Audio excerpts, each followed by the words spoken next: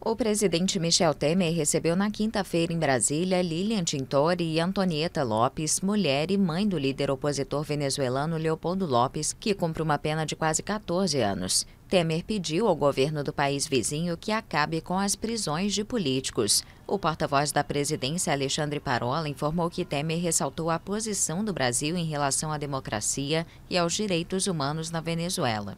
O presidente também reforçou que é fundamental que se garantam as liberdades individuais, se respeite a independência dos poderes e que se defina e cumpra um calendário eleitoral no país. Após o encontro, Lilian Tintori destacou que foi a primeira vez em 18 anos que um presidente brasileiro recebeu representantes da oposição venezuelana.